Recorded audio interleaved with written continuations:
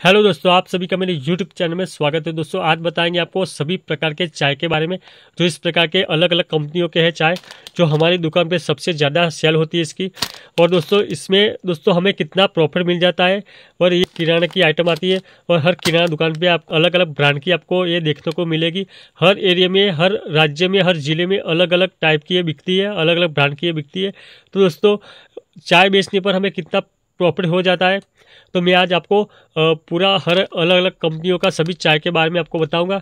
तो वीडियो को लास्ट तक देखिएगा। अगर आप पहली बार है तो चैनल को सब्सक्राइब ज़रूर करिएगा, क्योंकि हम हर वीडियो में अलग अलग आइटम की होलसेल प्राइस की जानकारी देते रहते हैं। तो दोस्तों, हम सबसे पहले बात कर लेते हैं बाघ बकरी चाय, जो ऑल इंडिया में मिलती है और ऑल नंबर वन चाय आती है। गुजरात की इसकी बनावट है। गुजरात में मैन्युफैक्चरिंग होती है और दोस्तों सबसे तेज़ी से बिकती है क्योंकि इसका टेस्ट का बहुत ही अच्छा आता है।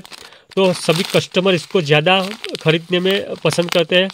तो दोस्तों, ये ढाई सौ ग्राम वाला पैकिंग आता है, वाघ बकरी चाय, और एक है दोस्तों पाँच सौ ग्राम वाला जो आता है, वो पाँच सौ ग्राम पैकिंग है। तो दोस्तों, ढाई सौ ग्राम वाला जो आता है, उसकी एमआरपी है, एक सौ तीस रुपये लिखिए। ये पैकेट हम होलसेल में बेचने के लिए लेते हैं। तो हमें एक सौ बाईस रुपये पचास पैसे में पड़ती है। एमआरपी के हिसाब से सेल होती है। यानी कि एक पैकेट पर हमें साढ़े सात रुपये का प्रॉफिट हो जाता है। और दोस्तों, ये 500 ग्राम वाली इसकी एमआरपी है। दो सौ इसकी एमआरपी है।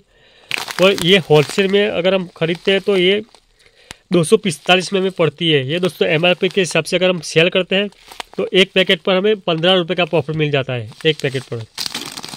अब दोस्तों, बात कर लेते हैं मोहिनी चाय जो सिर्फ़ गुजरात में ही मिलती है, जो हमारे एरिया में बहुत ही ज़्यादा इसकी सेल होती है। इसमें दोस्तों, मार्जिन कम होता है, मुनाफा इसमें कम होता है। इसकी एमआरपी लिखी है, पंचासी रुपया। ये पड़ती है, अस्सी रुपये में पड़ती है और ये पंचासी में सेल होती है। इसमें सिर्फ़ पाँच रुपये हमें प्रॉफिट मिल जाता है इसमें। अब दोस्तों बात कर लेते हैं वाघ बकरी की बारीक जो दाना आता है, इसका बारीक दाना आता है। और ये ढाई सौ ग्राम वाली है, इसकी एमआरपी लिखी है एक सौ पच्चीस रुपया। और ये हमें पड़ती है एक सौ सत्रह में पड़ती है। ये इसमें एमआरपी के हिसाब से सेल होती है, इसमें हमें आठ रुपये का प्रॉफिट मिल जाता है इसमें। अब दोस्तों बात कर लेते हैं मजानी चाय ये लोकल कंपनी की चाय आती है लोकल चाय आती है।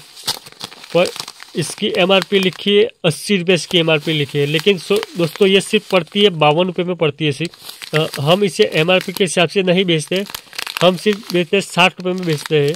ये बावन में पड़ती है और साठ में बेचने पर हमें आठ रुपये का प्रॉफिट मिल जाता है मजानी चाय में जो ढाई सौ ग्राम वाली आती है। अब दोस्तों, बात कर लेते हैं, तुलसी चाय, ये सबसे ब्रांडेड कंपनी है बकरी जैसी है। बहुत ही ज़्यादा बिकती है अभी बहुत ही बेहतरीन टेस्ट आता है इसका। तो दोस्तों, ये ढाई सौ ग्राम का पैकिंग है। ये दोस्तों, इसकी एमआरपी है, नब्बे रुपये इसकी एमआरपी है। ये दोस्तों, बयासी में पड़ती है। इसे नब्बे रुपये में सेल होती है एमआरपी के हिसाब से। इसमें हमें आठ रुपये का प्रॉफिट मिल जाता है तो तुलसी चाय आती है, सबसे बेहतरीन क्वालिटी में आती है।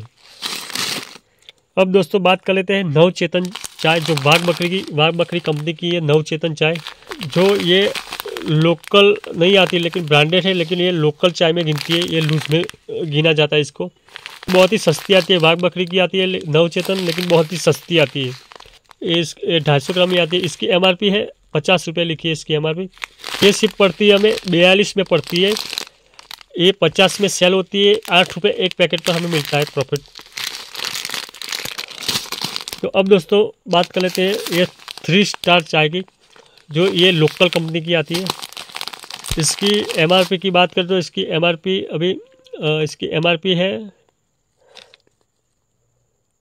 इसकी एमआरपी लिखी आप देख सकते हो इसमें इसमें दोस्तों इसकी एमआरपी लिखी है, पंचोत्तर रुपये इसकी एमआरपी है, ढाई सौ ग्राम में आती है लोकल चाय आती है।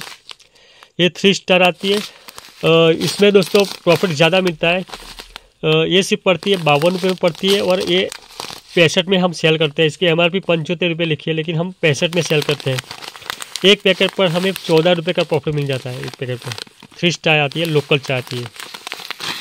तो दोस्तों, इस तरह की सभी अलग अलग कंपनियों की हम अपनी दुकान पर रखते हैं और काफ़ी ज़्यादा इसमें प्रॉफिट मिल जाता है। तो दोस्तों, और भी अलग अलग कंपनियों की हर अलग अलग एरिया में, हर अलग अलग राज्य में अलग अलग टाइप की आती है। तो दोस्तों, सबसे ज़्यादा अगर प्रॉफिट मिलता है तो चाय में बिकता है और सबसे ज़्यादा बिकती है चाय जो हर किराना स्टोर में आपको ये सभी अलग अलग कंपनियों की चाय देखने को मिल जाएगी। तो दोस्तों, इस प्रकार का इसका होलसेल प्राइस रहता है। तो दोस्तों, आज के लिए इस वीडियो में इतना ही। अगर आपको ये वीडियो में अच्छी जानकारी मिली है वीडियो अच्छा लगा है तो लाइक करें शेयर करें और चैनल को सब्सक्राइब ज़रूर करें। मिलते हैं अब नेक्स्ट वीडियो में।